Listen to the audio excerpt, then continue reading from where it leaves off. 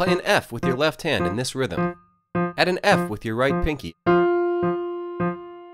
Keep your pinky on F and add an E flat, then a D, then a C. Repeat the last chord. Add a B flat with your right thumb, then move your thumb to an A for the last chord. Add another lower F in your left hand with a swing rhythm.